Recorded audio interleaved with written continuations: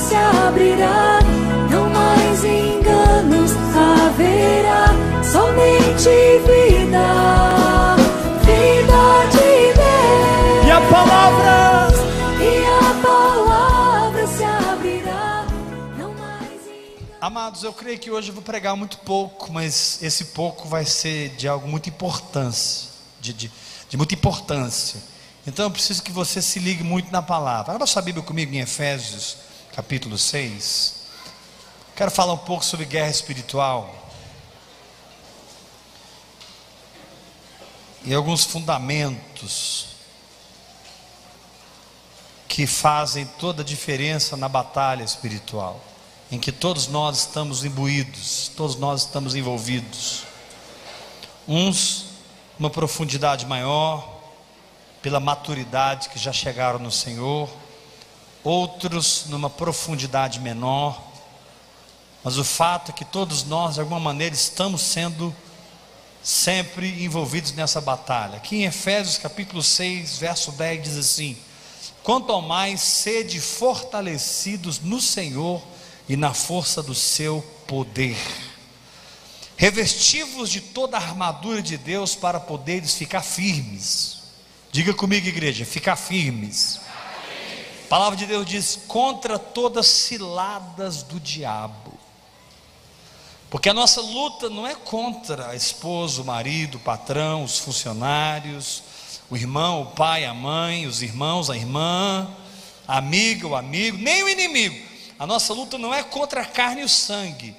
Nossa luta é contra os principados, potestades, contra os dominadores deste mundo tenebroso, contra as forças espirituais do mal nas regiões celestes. Portanto, tomai toda a armadura de Deus para que possais resistir. Levanta a tua mão e diga assim forte comigo. Primeiro, ficar firme. Mais forte, igreja. Segundo, resistir. E a palavra de Deus diz: resistir no dia mal. E depois de ter desvencido mais ou menos. Não, depois de ter desvencido tudo, permanecer inabaláveis. Hoje eu estou pregando para um povo que vai permanecer inabalável. Como eu disse, eu quero aplicar para cada um aqui pessoalmente. Não importa o nível de guerra que você está enfrentando, eu profetizo que você vai sair dessa inabalável. Profetizo que você vai suportar firme. Profetizo que você vai aprender a resistir. Se é principado, se é potestade, se é um dominador, se é uma força espiritual da maldade, não importa o calibre, não importa a categoria. A Bíblia diz que você pode e deve ficar firme, resistir, vencer e permanecer inabalável. Bota a mão diga: Eu recebo essa palavra. Agora, amados, uma coisa que você precisa entender sobre o nosso inimigo é que ele não nos ataca aleatoriamente.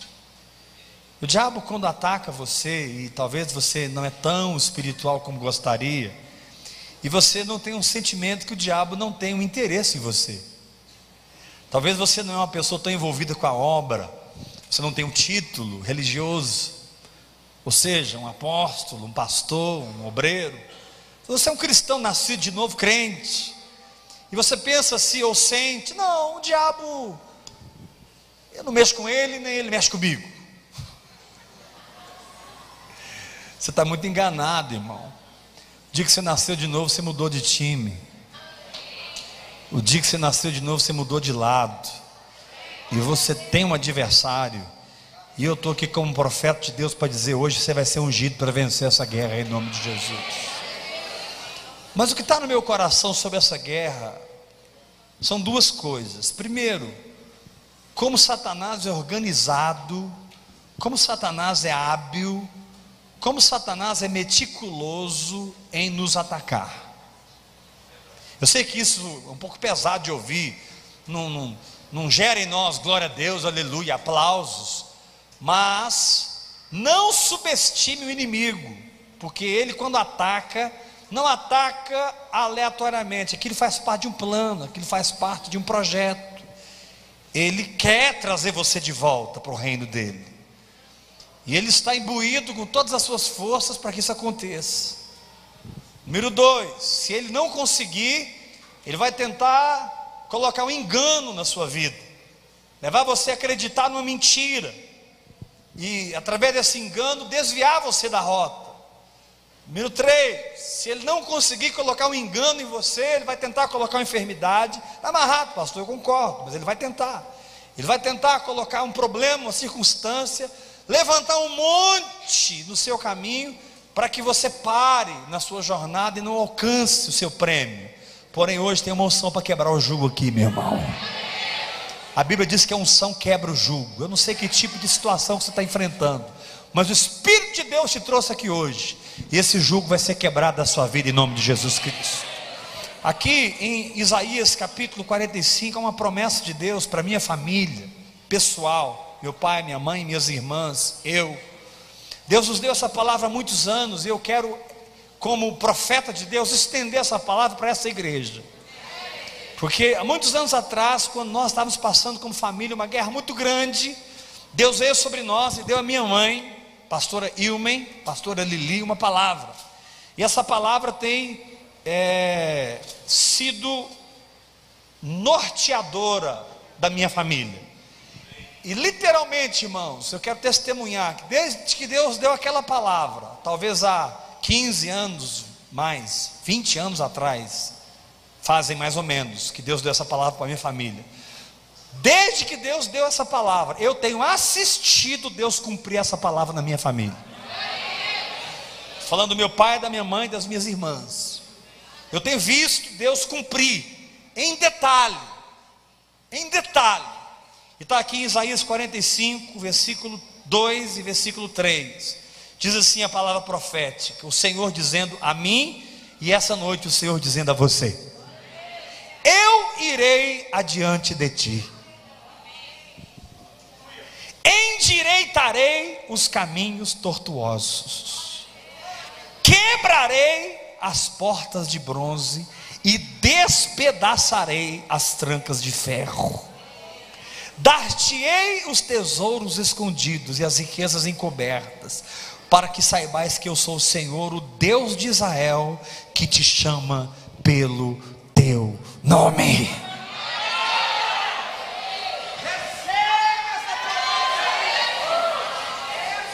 Deus te trouxe aqui hoje e Deus me trouxe aqui hoje. Em primeiro lugar, eu declaro que você é uma terra fértil. Segundo lugar, eu declaro que a minha boca é uma matraca do Espírito Santo.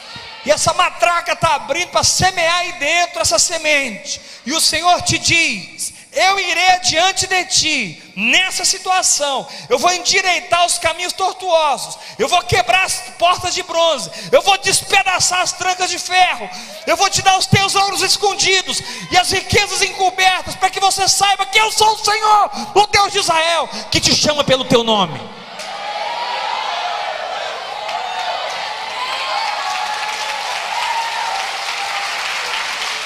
Mais forte esse aplauso porque o que ele diz é.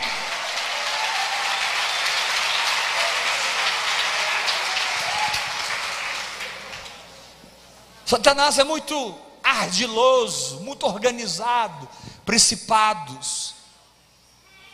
Fala de uma categoria muito alta de demônios, potestades, dominadores, forças espirituais da maldade. É toda uma categoria de demônios com funções específicas, com patentes específicas, com uma organização maligna, a fim de, de alguma maneira, impedir o avivamento de Deus na tua vida, de alguma maneira, impedir que Cristo apareça na tua vida, de alguma maneira, resistir à manifestação do reino dos céus na tua vida.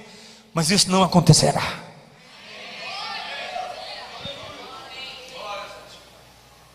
Segunda coisa que está no meu coração, por isso que eu disse que a palavra é rápida, é que, diante desses ataques, seja eles quais forem, E se nós fôssemos entrevistar cada um aqui, nós íamos ouvir N situações de pessoas que estão passando por problemas que você sabe que é de ordem espiritual. Você sabe.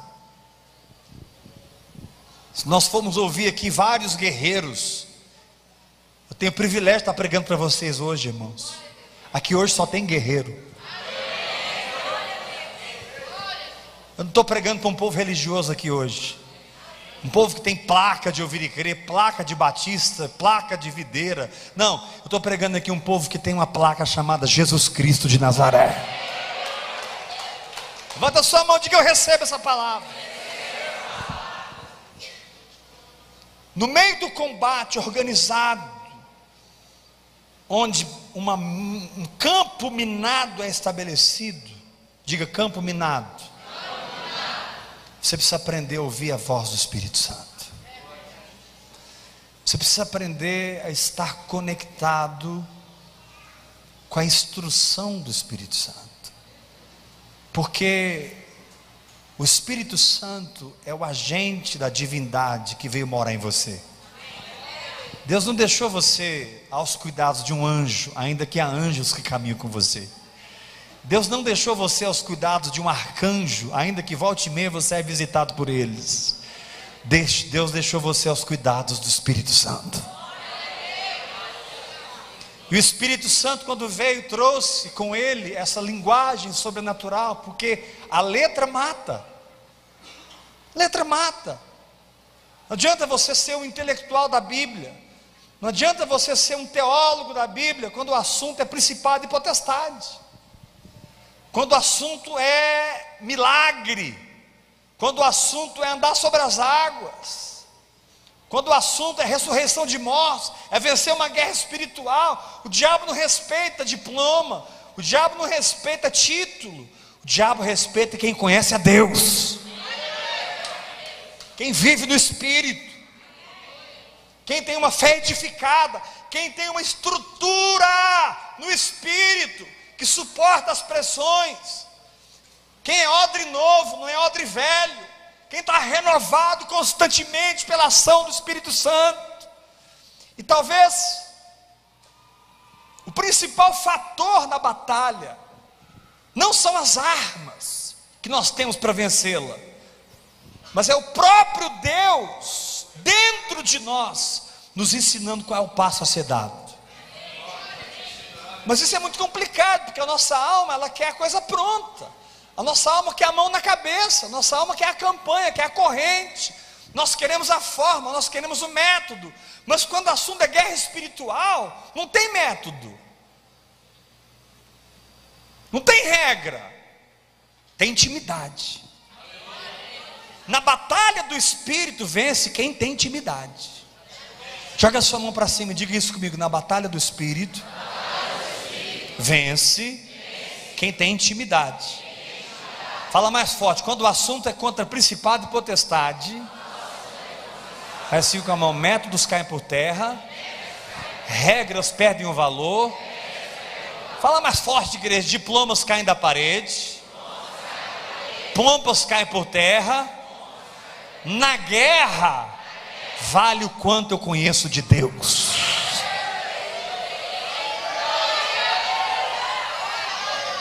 Irmãos, eu declaro aqui um povo que conhece a Deus. Declaro aqui um povo que não está firmado em Éber, em Geraldo, em Suzano, em Araceli. Não! Um povo que está firmado no Espírito. Um povo que tem realidade. E tem realidade porque ouve a voz. E ouve a voz porque está liberando a linguagem sobrenatural. E está liberando a linguagem sobrenatural porque tem espírito de entrega. E tem espírito de entrega porque tem fome, tem sede, tem compromisso. Fez opção de fé. Viu Jesus Cristo, encontrou com Jesus Cristo. Tem o fundamento, não aceita o pecado na sua vida. Decidiu, eu não vou parar na minha jornada.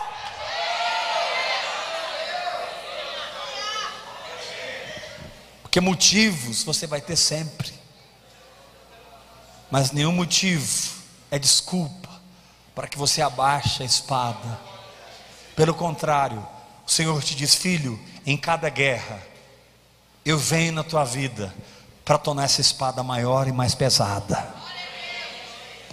Mas se a espada cresce e você não cresce, com o tempo ela fica pesada na tua mão e você não conseguirá guerrear com a espada. Você vai arrastar a espada. Mas se o teu crescimento é proporcional ao crescimento da espada, quanto mais a espada cresce, mais você cresce. E mais eficiência você tem no combate. Querido, Deus não te chamou para ser perfeito, Deus te chamou para ser eficiente. Levanta sua mão bem alto, diga comigo: Deus não me chamou para ser perfeito. Mais forte, igreja: Deus me chamou para ser eficiente. Pergunta para mim: o que é eficiência? É ouvir e seguir a voz do Espírito Santo.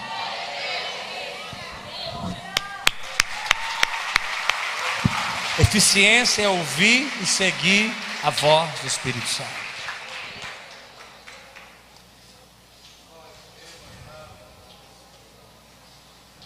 O Espírito Santo tem o mapa da mina. O Espírito Santo conhece a saída. Para você é um labirinto, para ele é uma brincadeira de criança. Para você é um problemaço, para ele é uma equação simples. Para você dá um nó na sua cabeça. Ele faz isso já há eternidades.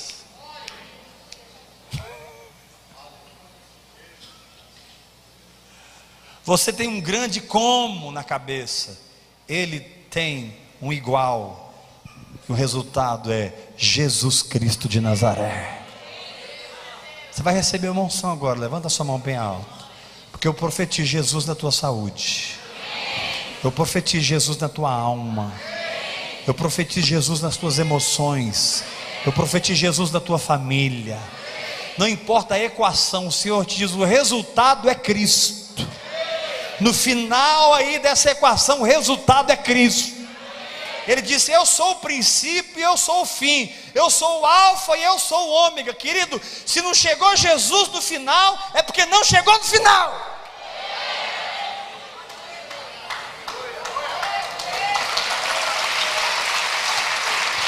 Forte esse aplauso à palavra do Senhor.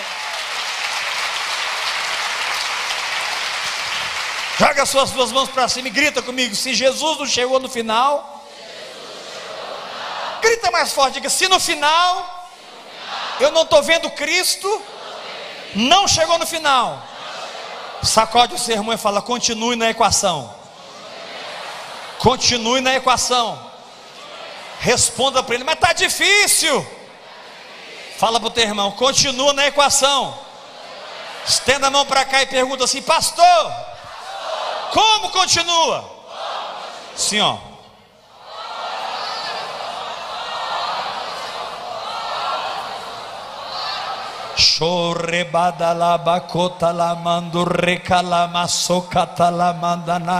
A minha mente não tem a equação, a minha mente não tem o entendimento, a minha mente não sabe solucionar, mas o meu espírito pode se conectar com a mente de Cristo, e na mente de Cristo há um lugar chamado feito.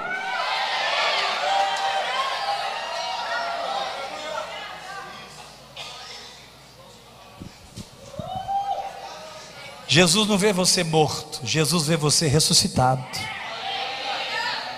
Jesus não vê você enfermo, Jesus vê você curado. Jesus não vê você caído, Jesus vê você de pé na sua ressurreição. Para Ele você não é pobre, para Ele você é próspero.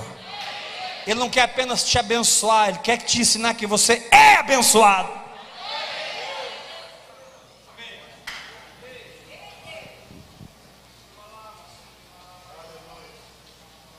Mais do que receber, Ele quer te ensinar que você é.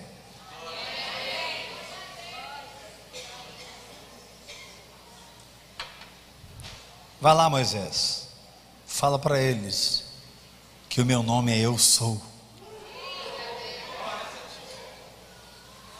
E Moisés foi e disse: Olha, o Eu Sou me enviou a voz. Quem, Moisés? Eu sou. Quem, Moisés? Eu sou. Ele criou um nome que quando você fala, você se afirma.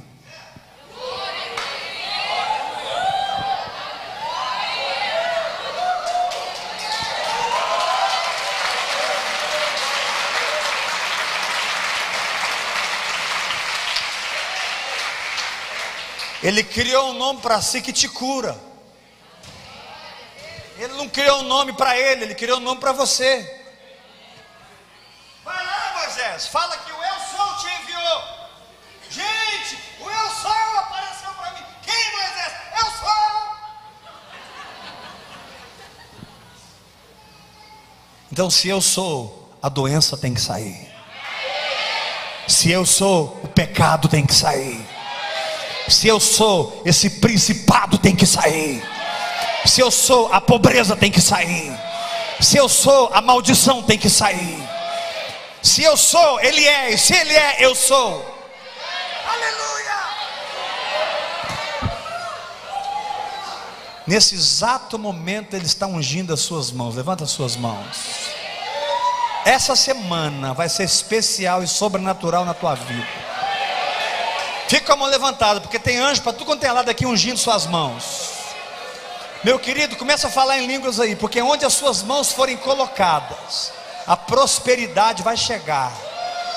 O nome do seu Deus não é eu era, ou eu serei, o nome dele é eu sou, eu sou, eu sou. O seu nome é eu sou. Essa empresa vai sair do lugar que ela está e vai entrar num novo nível de prosperidade. Ah, mas já está bom, vai ficar melhor.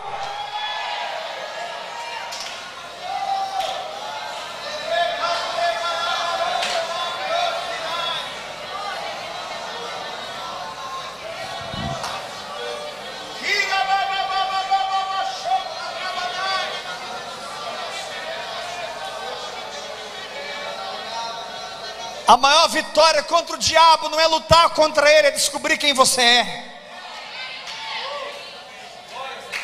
A maior vitória contra o diabo não está no ringue, está fora do ringue.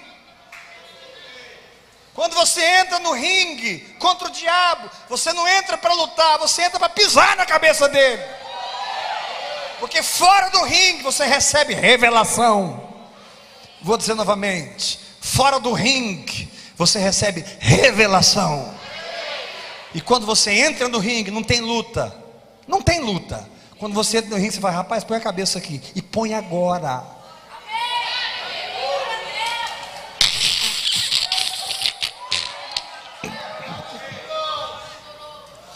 E ele não tem outra opção. Porque quando você descobre quem você é, você descobre quem Deus é. E quando você descobre quem Deus é, você descobre quem o diabo é. E quando você descobre quem o diabo é, você descobre que o diabo não é nada.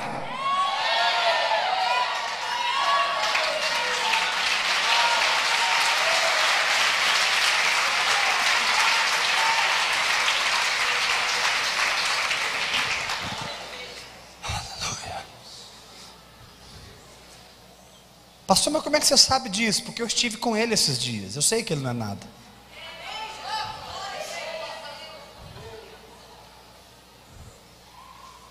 Eu não estou falando de uma teoria para vocês. Eu estou falando de um lugar no Espírito. Onde o meu Pai me colocou na graça. Eu estive com ele, eu sei que ele não é nada. E quando você escolhe levantar suas mãos e adorar, quando você escolhe levantar suas mãos e dar graças a Deus, quando você escolhe levantar a palavra de Deus acima das circunstâncias, não há demônio que fica no seu caminho. Levanta suas mãos para cima e diga comigo: eu não posso, escolher, as minhas circunstâncias. Mais forte, igreja, mas eu posso escolher as minhas reações ações nas minhas circunstâncias. Diga mais forte: eu não sou senhor das minhas circunstâncias, mas eu sou senhor do meu coração. E o Senhor é senhor da minha vida. E o meu coração crê na palavra.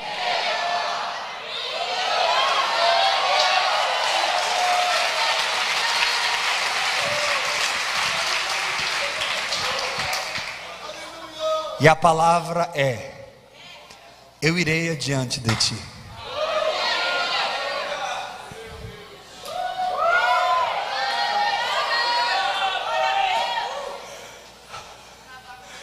Michel não está aqui, né?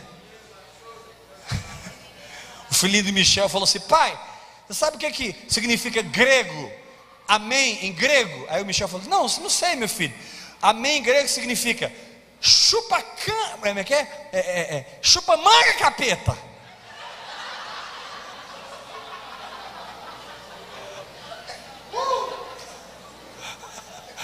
Michel foi meu filhinho dele, pai, sabe o que significa amém no grego? Chupa manga, capeta.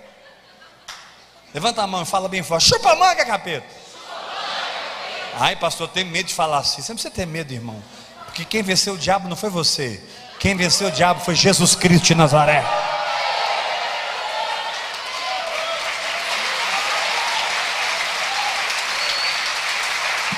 Não é a sua justiça, é o sangue.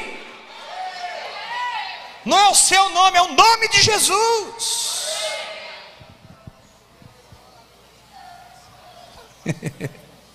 Amém no grego. Chupa manga, capeta.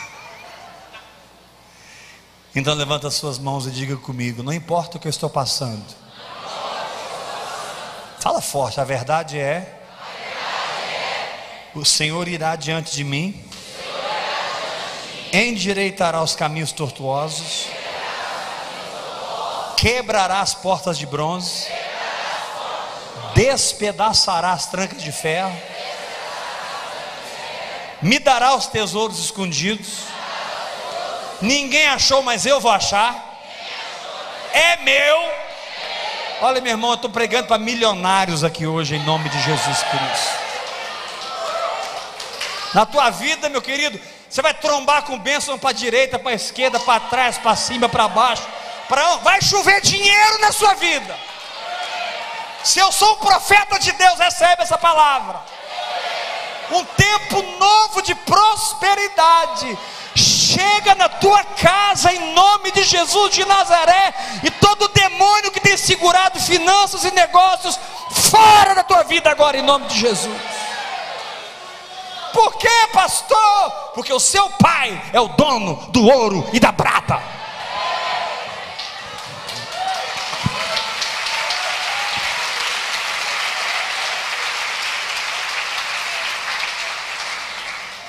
E fique em paz, que eu não vou distribuir envelope para ninguém aqui hoje.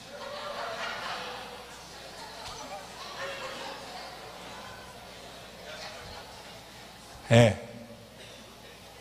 Nem vou distribuir envelope. Vocês é que vão derramar bênçãos em Goiânia. Vou falar de novo. Recebe essa unção. Não vou distribuir envelopes aqui. Você que vai derramar bênçãos em Goiânia.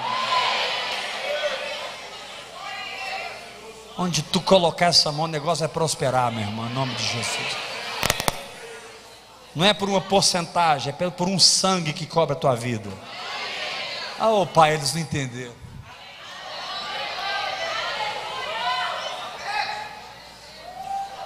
Davi perguntou assim: quem matar esse gigante ganha o quê? Aí eles contaram para Davi: número um, a casa da família de quem matar o gigante é isenta de impostos. Número dois, a família de quem matar esse gigante é isenta de impostos. Número dois, quem matar o gigante casa com a filha do rei.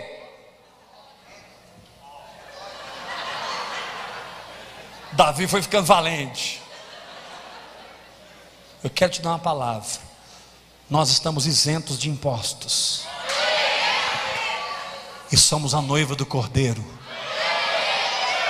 Porque o nosso Davi celestial, chamado Jesus Cristo, derrubou Golias na cruz do Calvário.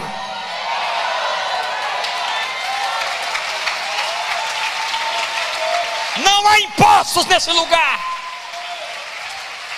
Eu sou a noiva do rei. Aleluia! Levanta a mão e diga: Eu recebo essa palavra. Fala para o irmão que está ao seu lado: quem matar o gigante, a família está isenta de impostos E o cara da casa com a mulher do rei. Com a mulher do rei, não, com a filha do rei. Sai daí que esse lugar não é seu, mulher. Troquei as bolas. Vamos lá, vamos lá. Fala pro teu irmão. Quem matar o gigante, a família é isenta e casa com a filha. Jesus matou o diabo, a casa está isenta e a noiva casou com o noivo.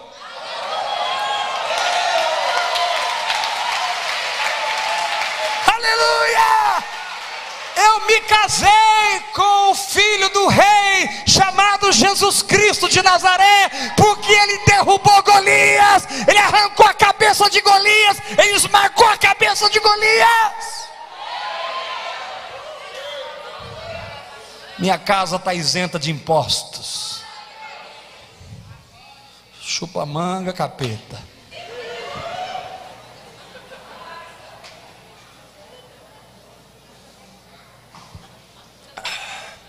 Nossa, tem capeta de religião sendo queimado aqui hoje.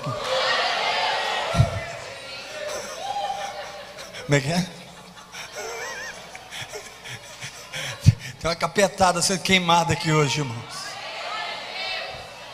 Você não é abençoado por uma porcentagem. Você é abençoado porque você é filho.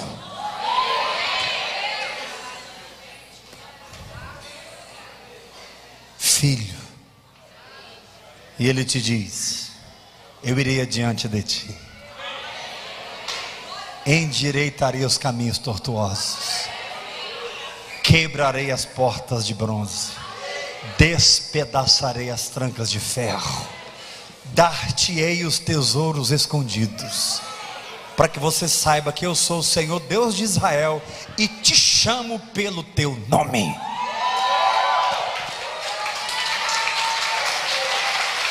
Meu pai, a bênção que o Senhor derramou na minha família, como parte daquela família, eu declaro sobre cada família aqui agora, em nome de Jesus Cristo. Se você recebe, diga eu recebo essa palavra. Aleluia. Fala para três pessoas perto de você, segura a bênção mesmo, porque o negócio é.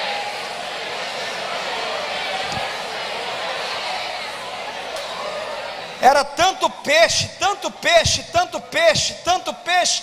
Foi enchendo a rede, foi enchendo o barco, foi enchendo. Não cabia mais o barco ia afundar. Sabe o que, eles fizeram? Gente, traz os outros barcos, vamos ajudar. Aqui não cabe mais. Deus vai te abençoar tanto. Eu vou repetir. Deus vai te abençoar tanto que o dar vai fazer parte do transbordar e não de uma porcentagem. Você vai dar porque vai transbordar na tua vida.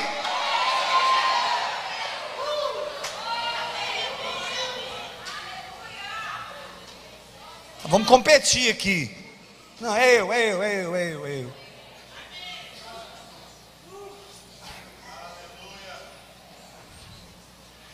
Está escrito no Salmo 107: entre eles não havia nenhum enfermo.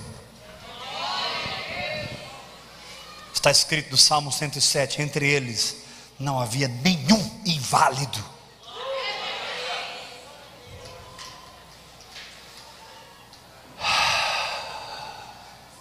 Então, número um, não subestime a organização do inimigo contra a tua vida. Número dois, Aprenda a receber a instrução do Espírito Santo, orando em línguas, meditando na palavra. Deus vai te guiar para fora desse labirinto. Para você é um labirinto, para ele é brincadeira de criança, porque você está dentro, ele está fora. Ele está fora, diz, filho, pisa para a direita, agora para a direita de novo, agora vai reto, corre, esquerda, vai. Três anos depois você olha para trás, você não é a mesma pessoa mais. Você não está no mesmo lugar mais. Tudo mudou, porque você entrou numa vida de obediência ao Espírito Santo. Você não tem mais dependência emocional de ninguém e de nada. Você descobriu que sua fonte não é o homem, não é religião, sua fonte é Cristo.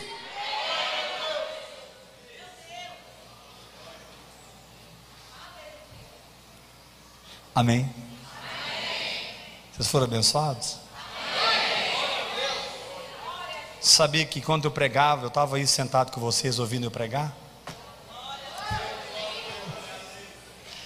Fomos abençoados. Então dá um abraço irmão e fala para ele, uma semana de bênção. Vai na graça.